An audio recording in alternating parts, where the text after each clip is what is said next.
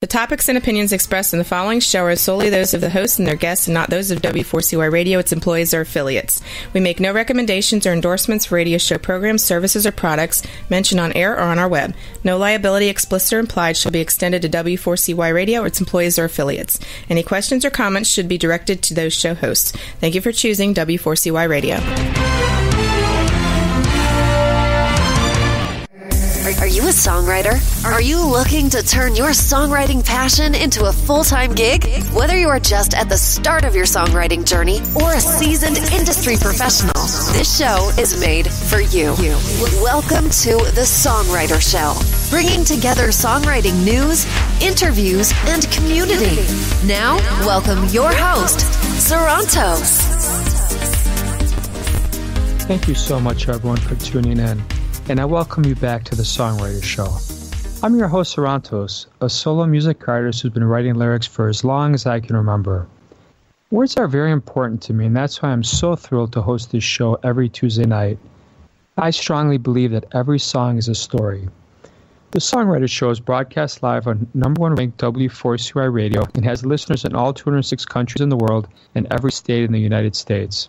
The station is licensed with ASCAP, BMI, SESAC, Sound Exchange, and has partnerships throughout the music industry, including iHeartRadio and exposure to over 300 million listeners. Tonight's first guest is Gary Burk. Gary hails from western Pennsylvania. His musical journey began at the age of nine while riding along with his dad to their family camp. There was a song on the radio, some old time country tune, that touched Gary in a way that would change his life forever. His biggest influences are Alabama, Jason Aldean, Luke Bryan, and he fronts a three-piece band of outlaws performing at events across the region. Welcome to the show, Gary. How are you doing tonight? Hey, doing great. How are you doing? I'm doing wonderful, my my friend. Um, you have a very uh, interesting story, and I can't wait to hear your new single Friday night uh, in a little bit. But um, tell me a little bit about when you were inspired at the age of nine. What was that like? You know, we were on our way to, like you said, to our family camp, and I was in the truck with my dad, and there was a CD playing, and uh, it was actually uh, a CD by Billy Gilman from when he was young, and uh, I started singing along to it. I sounded a lot like him at that time, and we did some work in that song. Um, we actually we started to redo that song, and it kind of went stagnant for a minute. Um, we met with uh, some members of the band Alabama and great guys.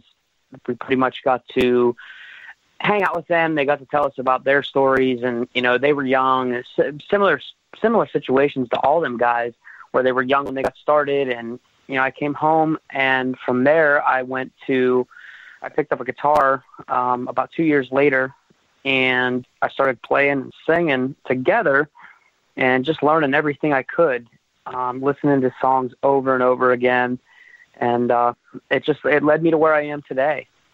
Wow. Um, it, was your family musical at all? Um, actually, no. no, okay. Uh, my mom is. Yeah, I mean, my mom is, but uh, my dad not so much. Um, and there was always music playing in the house. You know, there was we were always, always doing something um, with music. So.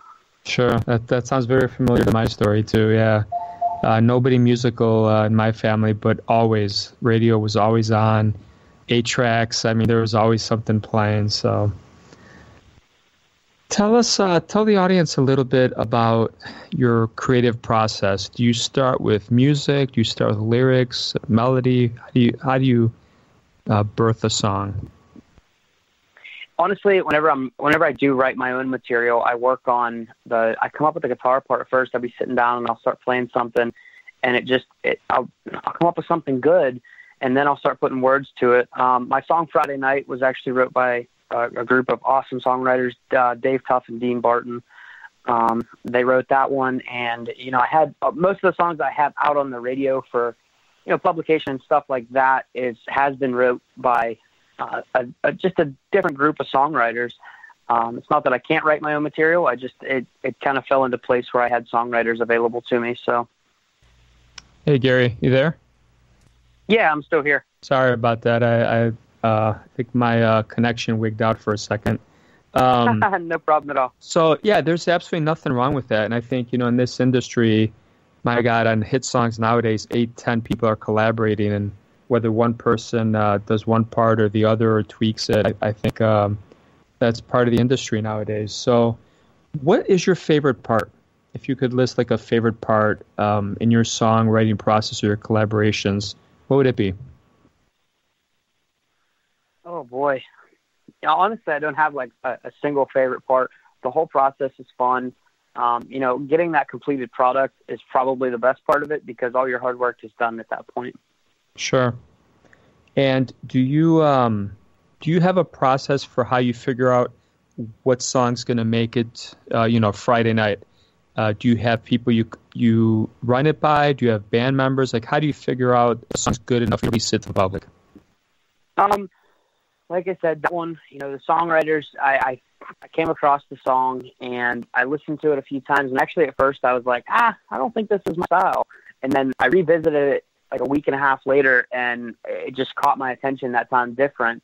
And I was like, man, I hope nobody has cut this yet. I, I got to get this on my album.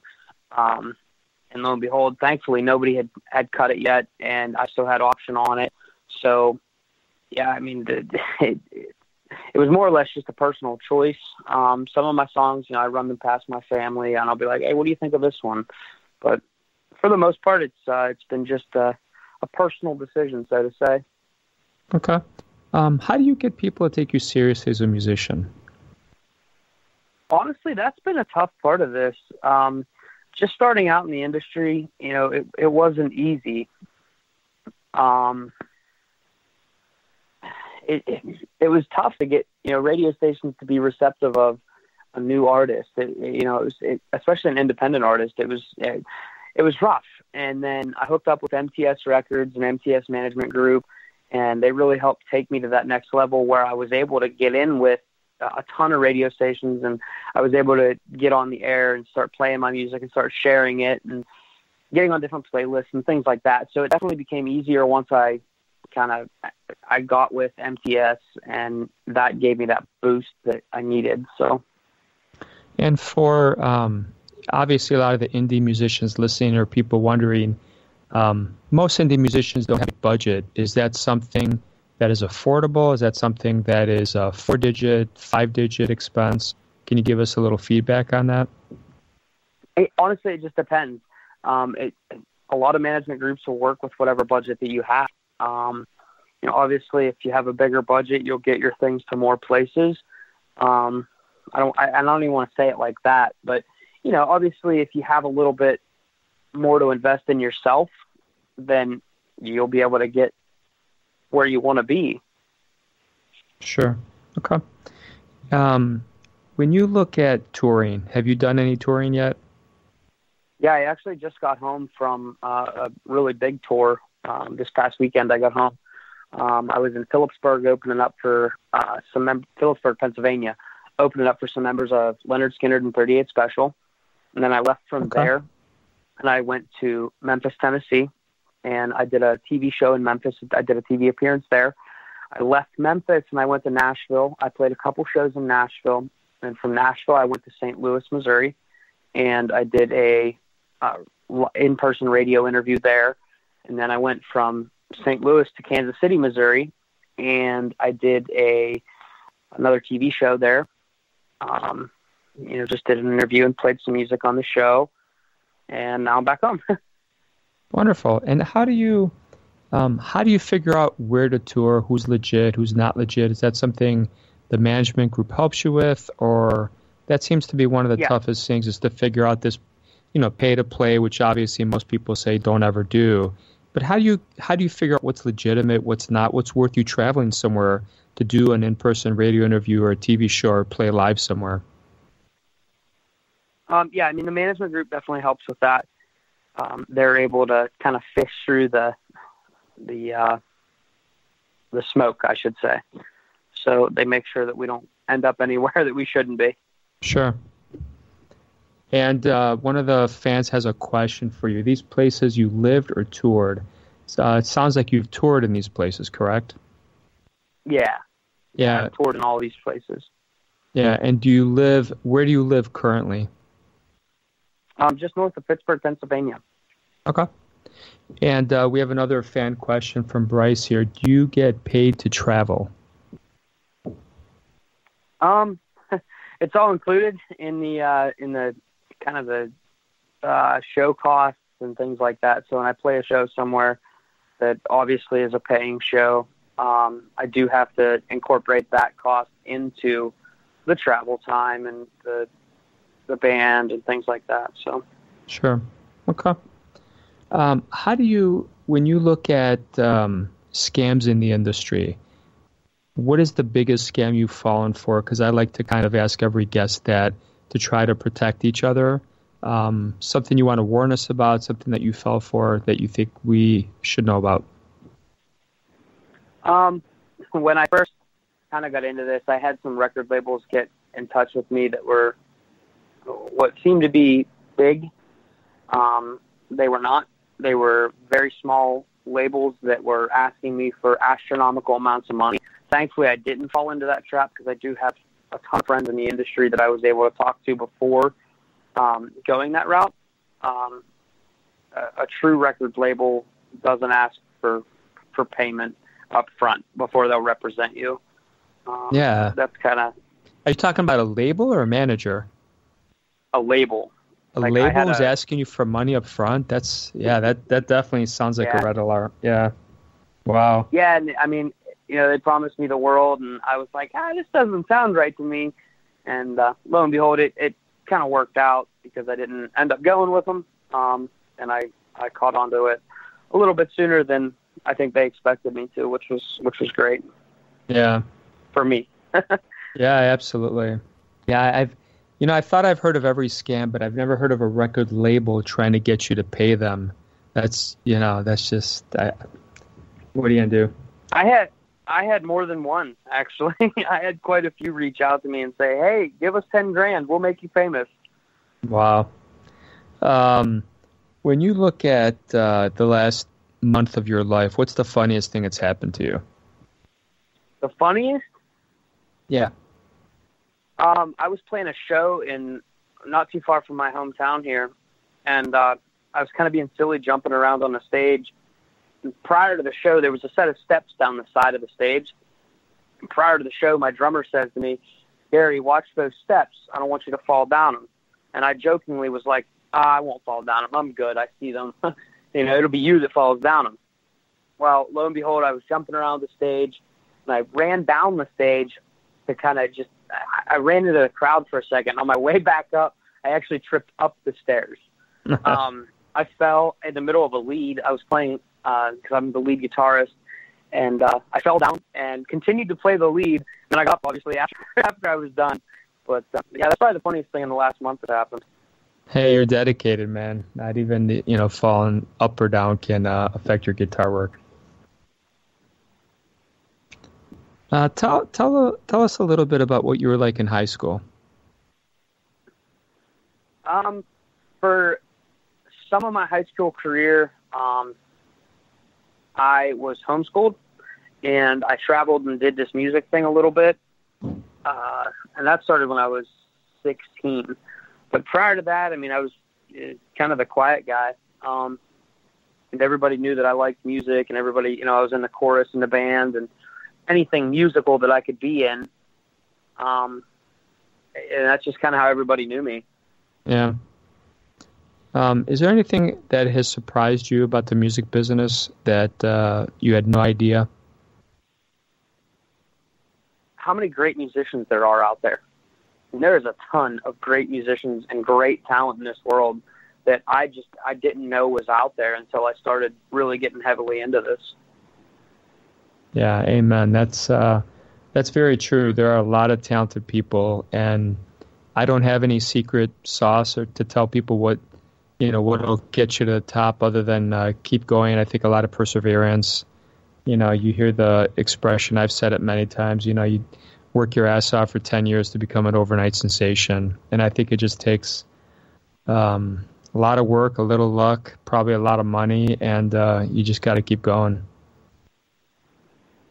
Yeah, exactly. Yeah. Um, if if you were guaranteed to be guaranteed to be successful in anything other than music, what would it be?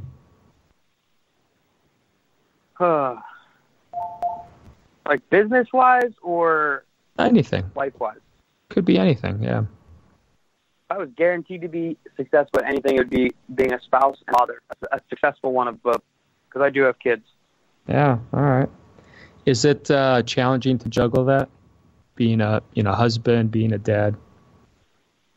Um, I mean, my fiance is real, real cool about it. She's super supportive. Um, couldn't have asked for anything better in that aspect. Um, my kids think it's super cool. Dad's a rock star. so I mean, they they think that's neat. Um, it, it is a challenge though because like this last tour, you know, that was the longest I've been away from my kids yet. And when I got home, I, I realized that I missed them. But you know, they understand. Um, they're still pretty young, but you know, I feel like they do understand that sometimes that. Yeah. How long were you gone for? Um, we were away from them for nine days on this Wow. on this kind of run, Yeah, that is. which wasn't even that long. Which Yeah. wasn't even that long. Um, okay. Um, tell us a little bit about your web, you know, website. Where can fans buy your music? Where can they find out about you? Yeah, um, my website is www.garyburke3rd, and that's with three eyes dot com. Um, there's links to buy my music on there. There's uh, links to my Facebook page, my Instagram, my Twitter, all that stuff, and all my tour dates. Okay. And tell us a little bit about the song. What was the inspiration behind it? Uh, what do you want the listener to um, notice when they hear the song, or what do you want to take from it? honestly, Friday Night is a party song. Um, I hate to call it that, but it is a party song. Um, I grew up back in the woods, you know, where on a Friday night, what everybody was doing was hanging out in the field, you know, having a few beers and jumping around, being a goofball around the campfire. And uh, this song, if anybody out there is listening that lives in the woods or lives in the country and not in a big city. I mean, even big city people can probably relate to it because they've all left the city and gone to one of these parties. But uh, that's just what it's all about, and pretty much anybody could relate to that. Okay. And uh, last question before we listen to your song. Is there a specific accomplishment that you're proud of that you think all the listeners should know about? Um, yeah, I reached uh, 50,000 streams on Friday night uh, within the second week of it airing. That's awesome. Congrats. That's this song, correct? Yes. So 50,000 streams total or 50,000 in one one night? It was 50,000 in two weeks. So by the time two weeks rolled around, it was 50,000 streams Yeah, that's wonderful. from, from release. That's wonderful. And is that um, um, is that with no marketing efforts or with marketing efforts, just your fan base? That was just fan base. Um, you know, obviously MTS released it under their label, and uh, you know they kind of took the reins on it. Yeah, But uh, that's that's great, yeah, man. I mean it took off like a rocket. So Yeah, that's great because just from the kind of guy you are and knowing a little bit about MTS, it's legitimate. You know, I mean, there's a bunch of people buying fake streams and fake everything, so that's uh, that's very impressive. So, all right, Gary, it was wonderful having you on the show, and now we're going to listen to your song Friday night. all right, well, hey, thank you so much for having me. Oh, you're welcome. Have a great night.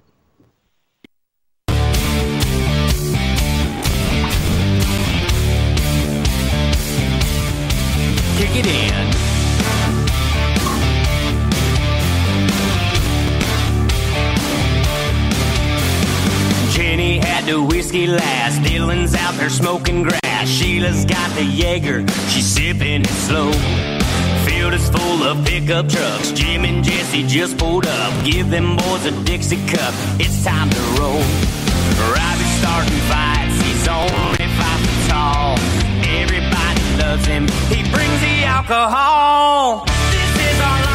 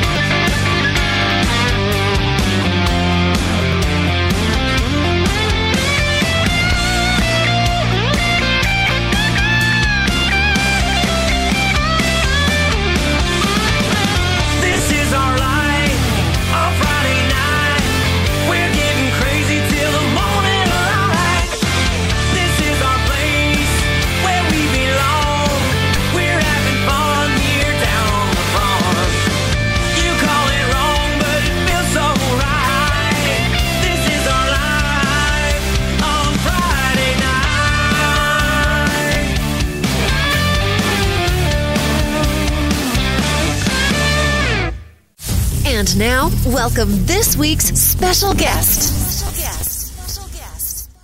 So I want to introduce our second guest, Shawn Knowles. Shawn, since he was 14, the only thing he wanted to do on this planet was make music. Um, Shawn has another wonderful story, and at one point he was poisoned by fear and doubt, but he found no other purpose, and he really just uh, focused on any pain in his life, and now he's sharing it with us in his journey with music. Welcome to the show, Shawn. How you doing tonight? Shawn, can you hear me?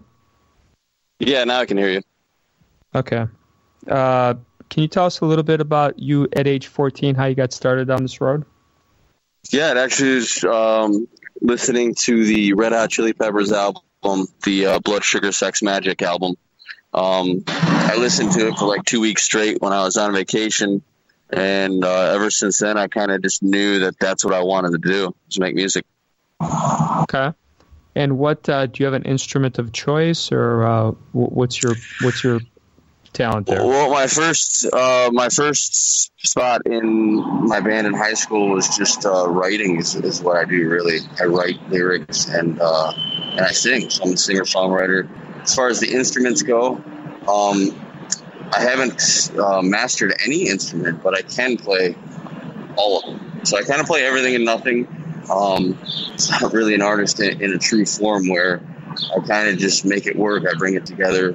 Um, I learned how to play the drums pretty pretty easily in my first band, but as of now, what I do is uh, most of my stuff is uh, written through um, starting melodies on uh, an acoustic guitar, just grabbing arrangements of notes, and um, often you know transferring those into a MIDI with a keyboard in the studio. So uh, I make up a lot of different solos and loops and arrangements through just feeling where where I want to go with the next note.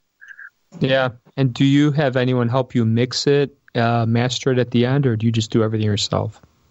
Uh, no, yeah, I'm actually working with a guy who is just a Logic Pro guy, and uh, he really knows what he's doing. Yeah, uh, speaking that we're on, uh, speaking with Skype, he does Skype lessons all over the world um, for people with Logic Pro. So he's pretty good at what he does. Um, he gives me the freedom too to kind of work it piece by piece. As far as some studios I reached out to at the beginning were wanting, uh, you know, to commit to like ten hour days, eight hour days, something like that. Uh, I don't have a band, you know, this is all just my vision that I'm creating on my own. So I kind of have to do it a piece at a time.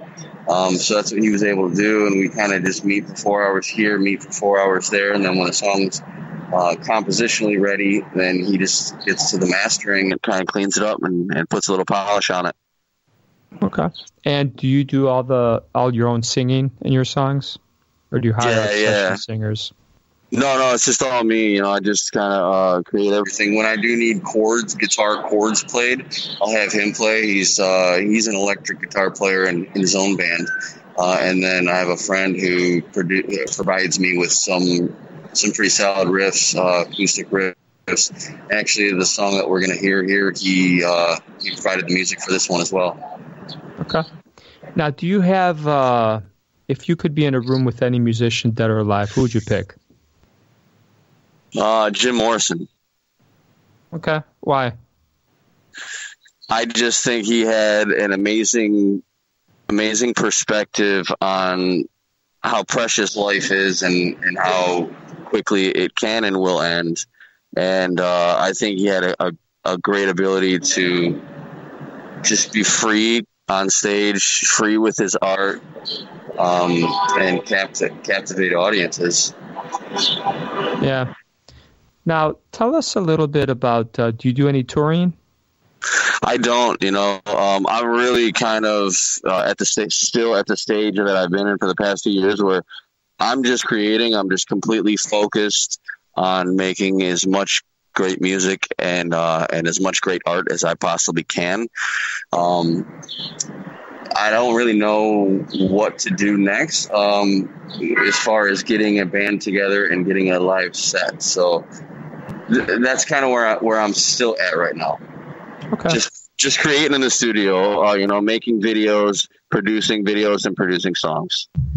And how do you decide what song's going to make the cut? Um, well, I've, so far I've released one uh, formal album and then one single. And on the album, eh, that actually was a tough one because I have so many finished songs that I had to pick the best ones. And on this album, I just really just chose what are the best songs to really tell my story.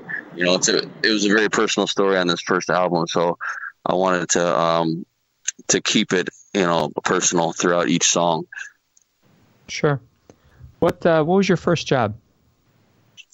My first job. Oh my gosh. Uh, I think washing dishes when I was like 13. That's part of your story, man. That's there's nothing wrong with that. I've done that too. My my my. Uh, I guess friend. so. Yeah, I was at a party center. what uh, any hidden talents or surprising hobbies do you want to confess to live on the air here? Um, just the one that we're talking about. Okay, all right.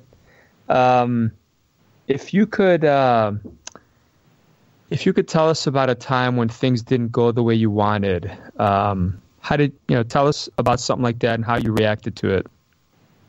Well, I mean, as far as digging out an actual circumstance or instance, you know, I would probably really revert to to really what, what my main uh, the, the story of, of this music is that we're talking about, and it's just like my life at one point wasn't going the direction I wanted it to go. You know, um, like I said, I knew I wanted to make music from a very young age, uh, I kind of ignored that yearn for a long time and just went along with the prescribed life. I started building a career in finance and banking in the corporate world, and as I became more successful, I became less happy just you know my day to day life and living. So it was really important for me to to get that awareness and recognition of the urine in my heart, you know, and and this creativity that I had stirring up.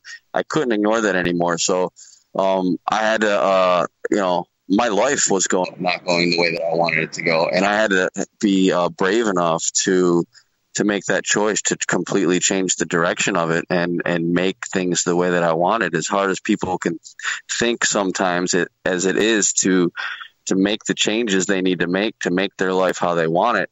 It's possible, you know. Uh, all we have to do is just take action, be patient, and, and let things work out. Yeah, absolutely. Uh, do you have a hidden superpower? I don't think so. Not that you know of yet, right? Yeah. Uh, what was the last gift someone gave you? Um, a letter. Very, very nice letter. Okay, was that a fan or a personal note, or what was that? Uh, it was just uh, pretty much a love letter for my wife. Ah, okay. Yeah, it was, it was, a, it was a really great gift. It was just a, it was for my birthday. It was just pretty much uh, four pages, just telling me all the reasons she loved me. That's awesome. That- the that best sounds- gift of them all, right? Yeah, that sounds like a song waiting to happen there. It's written. I just haven't Yeah. produced it yet. All right. Uh, do you consider yourself more of a gatherer or hunter? Um, uh, yeah, I don't know. Neither, I'd say, man. Okay. Um,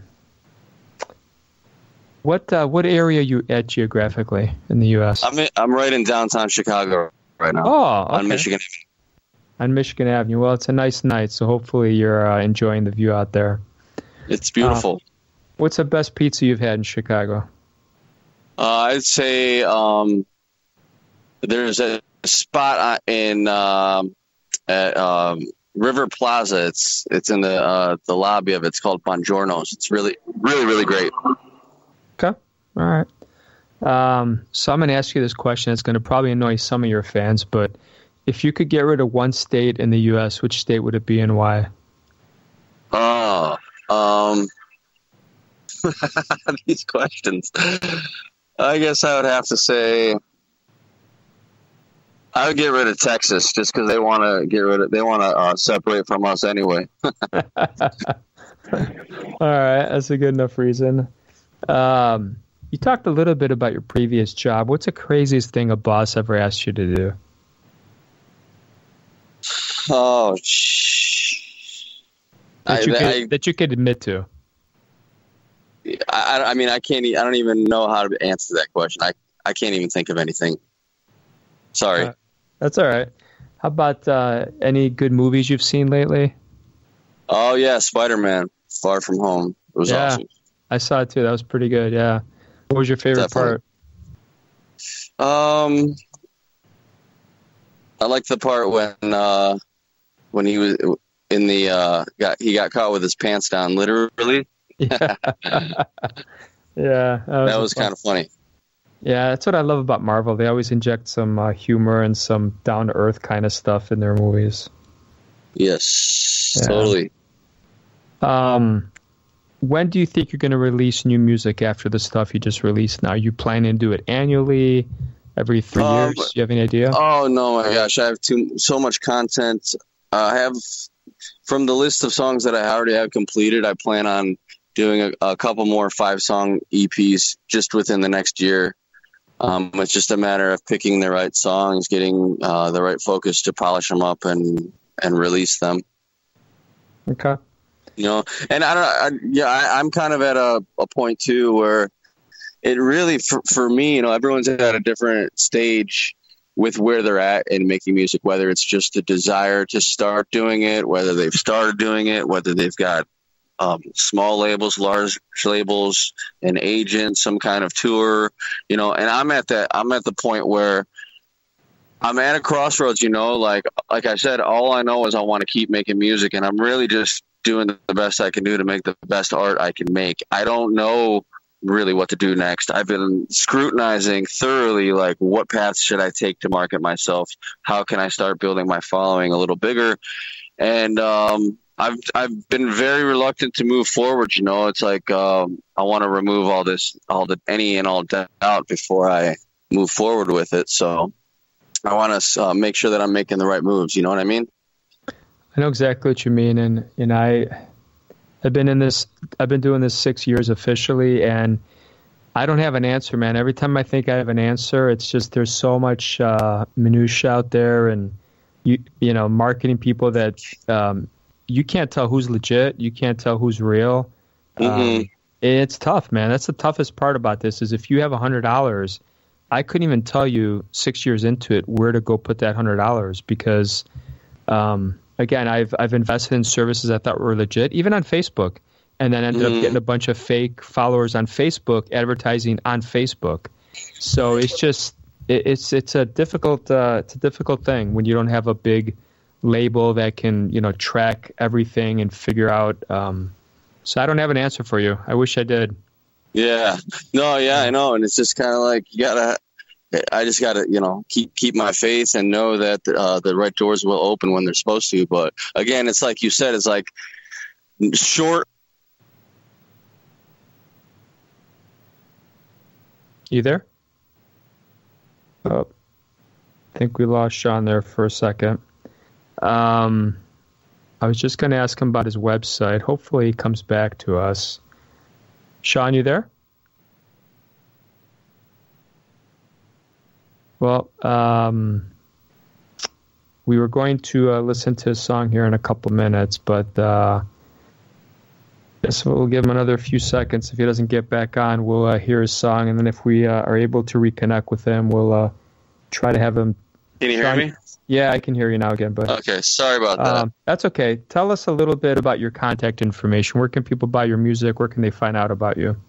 Yeah, if you just go to sake48.com, that's S A K E 48.com.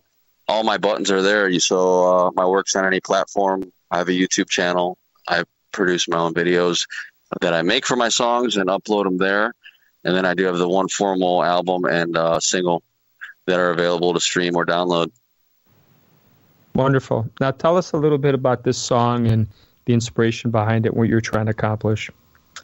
Uh, this is actually one of the songs that I didn't write for myself, uh, which is funny because I the reason I do what I do is is because I write. But this is the one that was. Uh, I have a buddy who is a great musician back in Cleveland, and uh, he'll provide me with certain ideas that I'll choose whether or not to move forward with or not. And this was one he provided me with. So the song was really just. It was a great. It was such a refreshing one for me to do because I didn't have to think too hard about the composition or uh, building it because it was kind of built for me. So I got to just perform it, which was a lot of fun. And um, I really enjoyed it. And it's a great story and it's very catchy. I did get to uh, to dress it up a little bit with a little bit of, of dressing, uh, you know, catchiness to it too. So, uh, but basically, it's just you know, it's it's Angel on the Run. It's just about uh, a relationship that's not working and someone's the girl's ready to go and the guy's watching her go, but it's hurting him. And that's that. Wonderful. What uh, what's your favorite '90s jam? Oh gosh, one jam. Yeah, Uh, I'd have to say. Can I just give you my favorite band from the nineties? sure. Why not? I mean, yeah. uh, Nirvana. Nirvana. Ah, cool Yeah. band. Cool band. Yeah. Totally. Uh, yeah. Uh, well, we got about a minute left here before we uh, hear your song. Uh, Want to tell us anything about uh, the best and the worst advice anyone's ever given you in the music business? Um, well, some of the worst advice I've ever gotten would be to to not listen to your heart and to not um, move forward with you know what you believe you can do.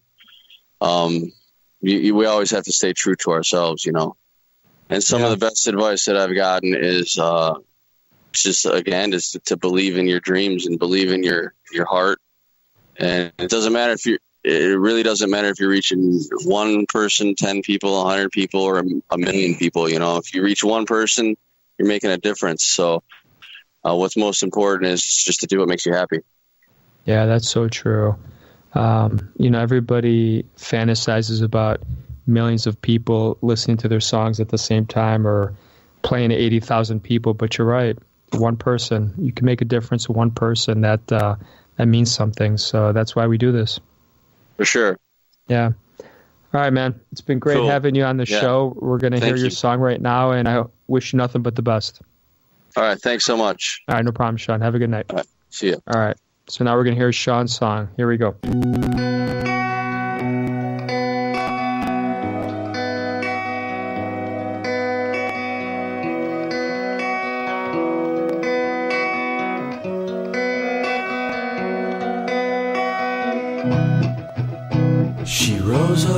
Left the room like a thousand balloons escaping her doom, just like a flower in bloom. Raindrops like hand grenades, crashing on wiper blades, fast driving far away as the empty car serenades.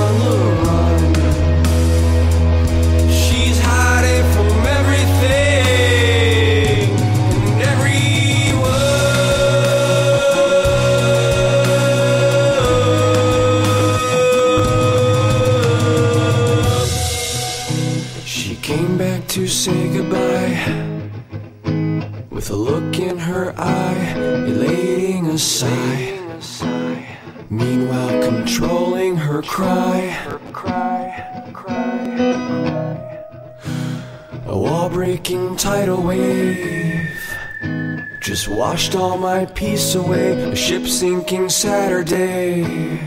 Gonna drown in my tears today.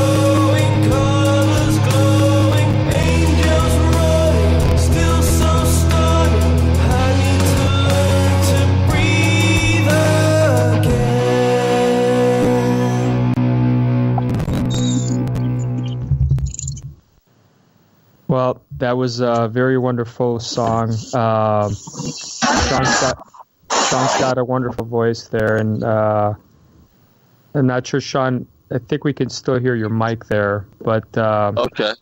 yeah. uh, from what I could hear of his song, uh, Shawn, uh, very awesome. Uh, like the chords, like the melodies, like the progressions, and uh, think it's uh, very cool. Um, so, anyway, we're at the conclusion of our show here, and I want to thank everyone for tuning in again tonight. Anyone out there who may be an artist and want to be on the Songwriter Show, please feel free to contact me. I thank you all for listening, and I hope your own unique story gets heard all around the world. My name is, Sarantos. Please join me every Tuesday night to hear other amazing artists share their fascinating behind the scenes stories right here on the Songwriter Show. And I'm going to leave you tonight with uh, one of my songs I released a few years ago called Did You Cheat? You know, cheating is one of the most sensitive topics. Cheaters don't want to talk about it. Cheatees, not sure if that's a real word, they try to bury the painful memories and emotions. There's guilt, there are excuses, rationalizations, justifications. It's not easy and it's not fun for anyone. Is the grass really greener on the other side? Probably not. So I tackled this sensitive subject matter with the song Did You Cheat? It's kind of a hard rock metal vibe, and I thought the instrumentation would capture the powerful anxiety, angst, and anger of these lyrics. So anyway, enjoy Did You Cheat, and I'll see you next Tuesday night on the Songwriter Show. Thank you for listening.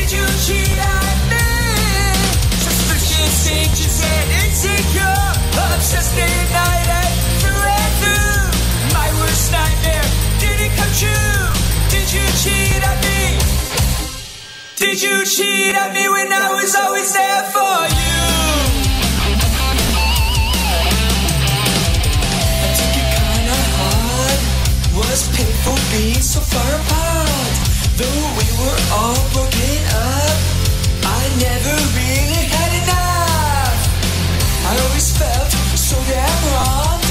Acted like a rabid dog, stumbled like a drunken man, sober slowly.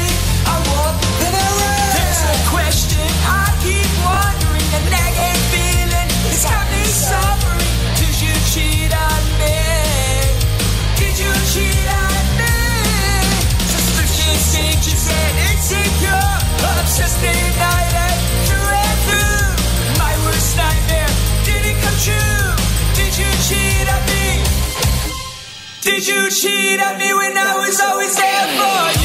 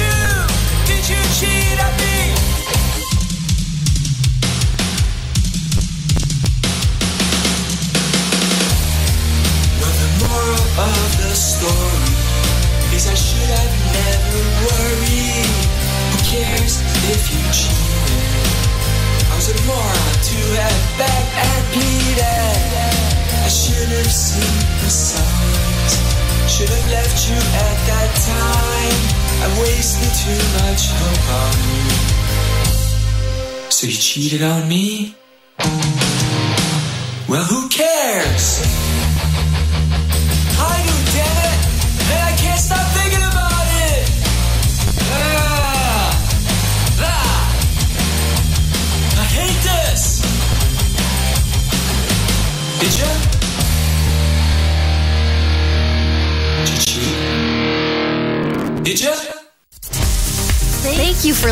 to the Songwriter Show. To keep the momentum going, head over to www.songwritershow.com and join our free music community of artists, songwriters, and producers. That's www.songwritershow.com.